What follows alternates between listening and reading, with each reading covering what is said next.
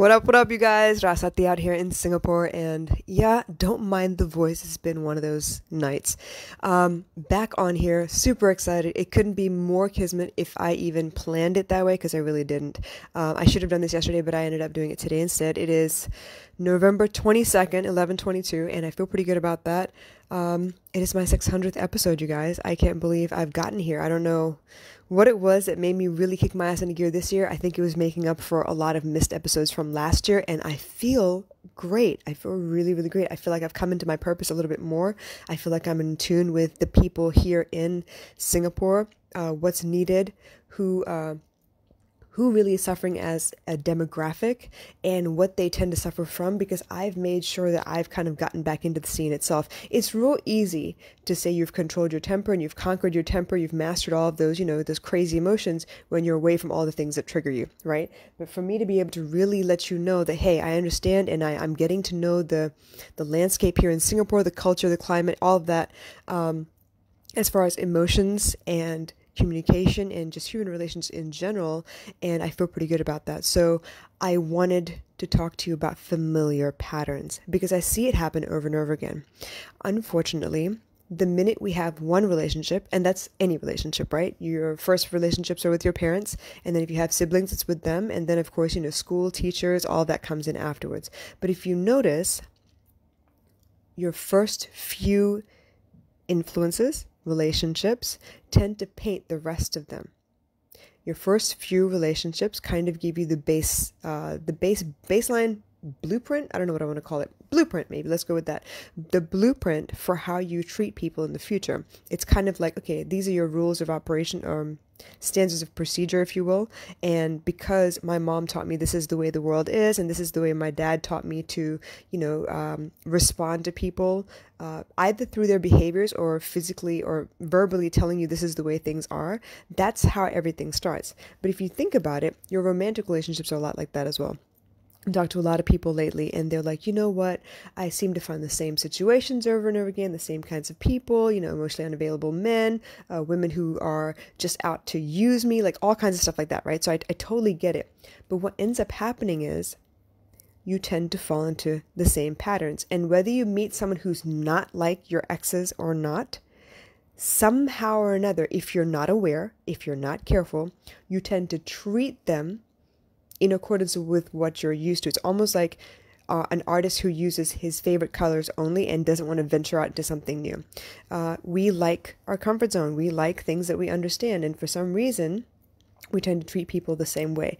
We never give anyone a blank slate unless we are very, very aware of the fact that they are not the same as the last few people that you've been with, right? Case in point, I have a young lady that I speak to over um, off and on, and she's been having a little trouble in uh, in the romance department, and she'll tell me, you know, I met this guy, he's really sweet and everything, and I don't want it to be a physical kind of relationship only. I want it to be more than that, but it also depends on where you're looking for these people. What is the criteria you're putting out there as far as how you're trying to find this significant, uh, this potential significant other? Once you get into that, you know, friendship stage because I've had another young lady tell me, hey, you know, friendship is friendship. And once they decide they love me, then it's a, a, romantic relationship. You know what? That's your belief. That's how you run your life. Perfect. But now that you've made that distinction, there's a reason why you've never been in a romantic relationship. It doesn't proceed past a certain point because either you're not letting it because you're not open to the idea that they might be different or you really are genuinely scared they are different and you like kind of pull away from them, right? Um, what was I saying? So this young lady, uh, she doesn't want it to be purely physical. She wants to make sure that the other person respects her. She has a lot of intellect that she wants to share. She's um, she's just trying to. She's looking for a companion, somebody to walk with her through life and to witness the things that she's up to, and to be able to share those dreams and hopes and and plans that she's got for her life, and to accept the same from the other person. But a lot of times, if you don't get love the way you're used to, you will sabotage until you do. So, she was uh, there was another young lady I was talking to, and she was talking about you know she has a coworker at work, right?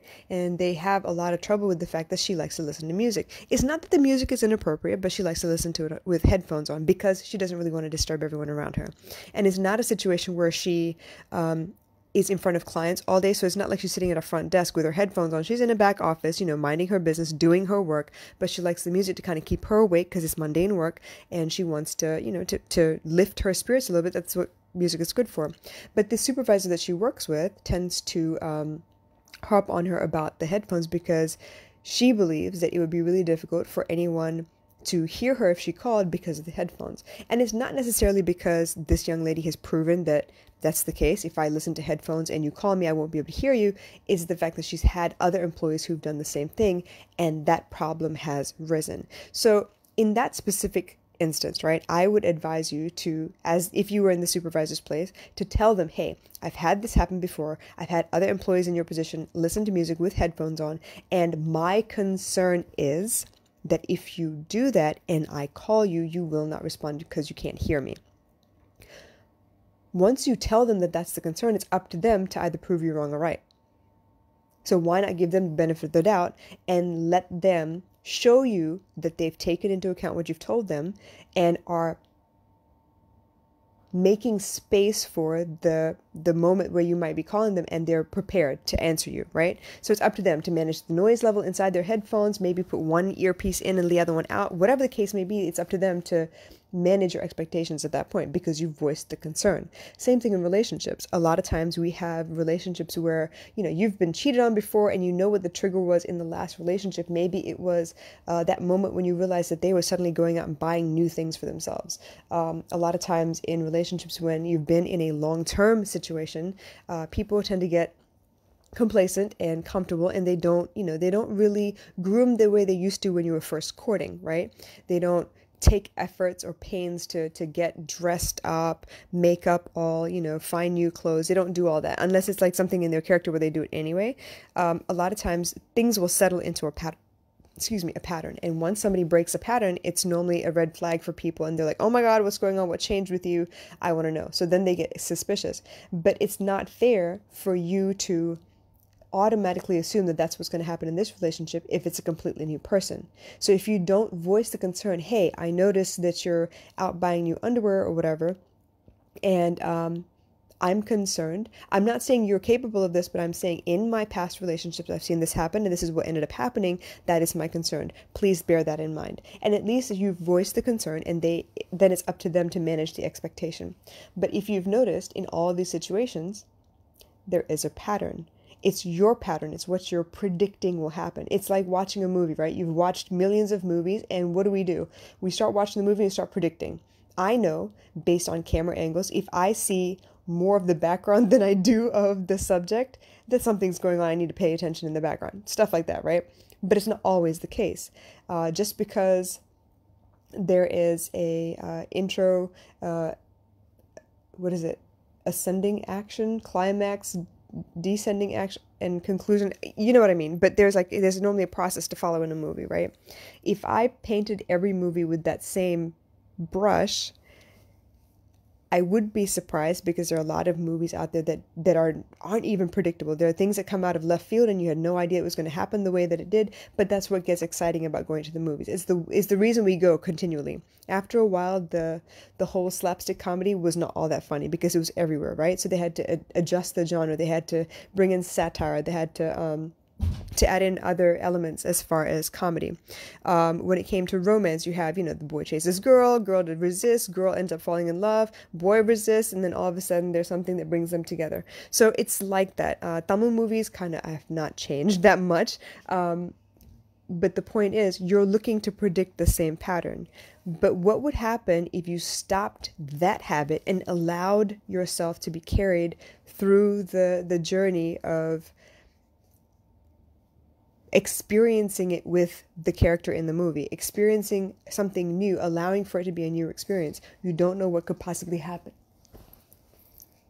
So, this episode today is about recognizing your patterns. Yes, we look for familiar patterns. We try to predict and make sure that, aha, I told you so, this is what was going to happen in the first place. It's a lot of those. It's a lot of those moments, right? It's a lot of those patterns.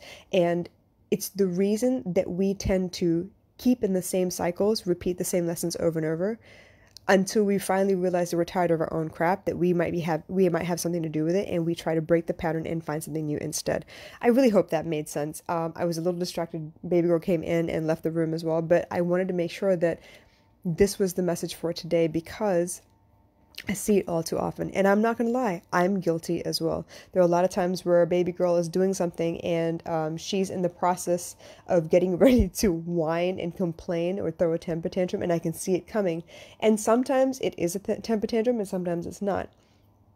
But if I don't voice the concern, hey, I see you starting, don't uh, let's talk about this. Let's let's not get all the way into a full blown tantrum. Let's let's discuss why it is that you're upset or not happy about um, whatever it is that's going on, and we try to manage it that way. So, my advice to you: try to be aware as much as possible. Try to voice your concerns as soon as they come up. Don't wait till later. As soon as they come up, and then allow the other person to take the information that you've given them into consideration and adjust their behavior. Once you've told them and they decide their behavior accordingly, then you decide okay, do I need to tell them again? Do I need to tell them more information? Do I need to explain myself? How do I get to a place where I no longer have this concern? But it starts with you. It starts with that awareness of the fact that, you know, you recognize these patterns. It becomes a courage thing where you speak up and tell people, hey, I'm opening up to you. I'm telling you something that, that could potentially hurt me. I'm trusting that you're not going to use it against me. I'm hoping instead that if you care about me and the relationship enough, that you're going to adjust and accommodate somehow. And if you can't, maybe we discuss what else we could do in in an effort to kind of make make do with the situation that we have. So I hope that makes sense, you guys. I hope it gives you something else to chew on for a little while. But as always, I love you guys. I really, really appreciate the support. 600 Ah, it's a big feat for me. It's been an amazing journey so far, and it's only just going to get better. I really, really do know that. So I'll talk to you again soon, and y'all take care.